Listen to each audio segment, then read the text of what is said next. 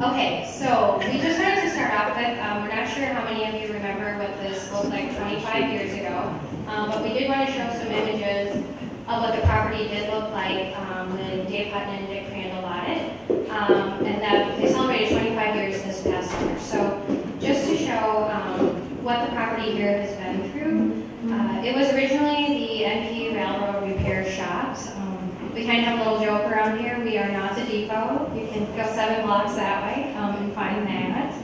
And basically, when they purchased the property, it was in need of a ton of repair. Um, you can see just cleanup that was needed. Um, down in the right-hand corner, you can actually see where we are right now. So that ramp is where the entry is. Um, and on kind of the front of that picture is Roundhouse Brewery. And then the end of it is where we are right now. Um, you can see there was a fence up at 13th Street. And then basically there was lack of modern mechanical utilities and that sort of thing. Um, so we just wanted to kind of start at where we were. Um, where we're going now is, what we've done this year is we've tried to take a lot of small spaces and just working to bring each space um, to code while keeping the historic appeal. So that takes a lot of funding, and so what we've been able to do this year is to take spaces that are kind of ready and actually just change them visually to get people um, more interested in space. So what you see here on the image is uh, Storehouse, 1531, down in the corner. And then we've also been revitalizing some upstairs office suites um, and bringing in new interest. And we've actually filled a couple of those with new tenants. We're pretty excited. And we're going to keep working on that right now. And then some amazing tenants that we um, have out here. Obviously, I'm sure most of you guys know Roundhouse Brewery moved out. Um, they have a great space.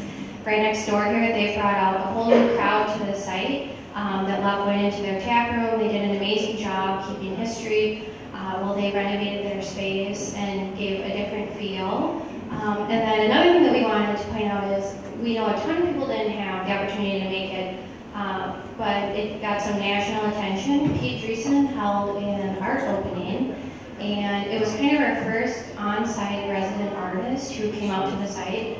Um, and it was kind of amazing. He took aspects of the railroad and kind of studied a lot of things around here, and then built art around that.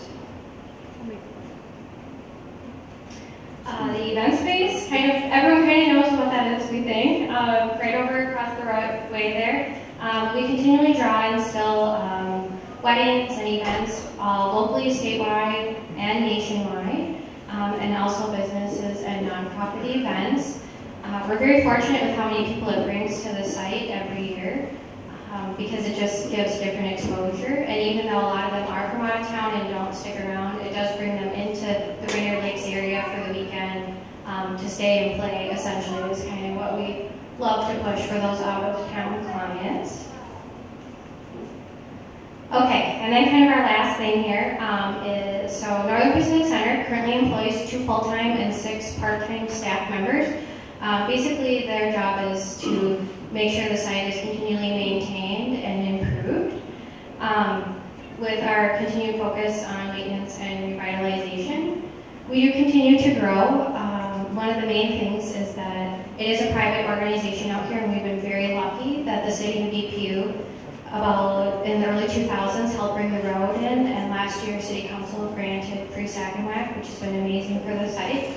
Um, and then at this point, you know, we're just looking forward. So kind of to get to where we are going, we have a little, a little joke here we have inside our organization. So a lot of nonprofit organizations um, get grants and things like that, which we aren't often eligible for, even though that we joke we are a nonprofit organization as we make no profit. um, but at this point, if money were no object, where would we go? Um, we'd be looking for a boutique hotel, outdoor sculpture gardens, we would love to do a live-work community, and then rebranding this entire neighborhood as the historic railroad district. So um, change the face of the neighborhood and bring more people in and just support the